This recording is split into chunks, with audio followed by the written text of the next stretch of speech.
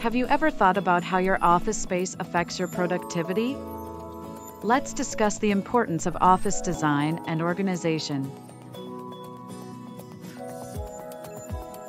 Research shows that office design can impact productivity by up to 20%. For example, natural light and greenery can improve mood and focus.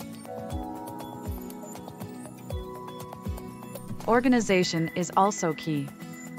A cluttered desk can lead to distractions and decrease productivity.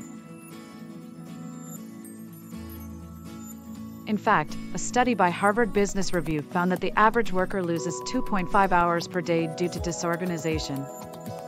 That's a lot of wasted time. So, let's prioritize office design and organization. It can lead to happier, healthier, and more productive work environments.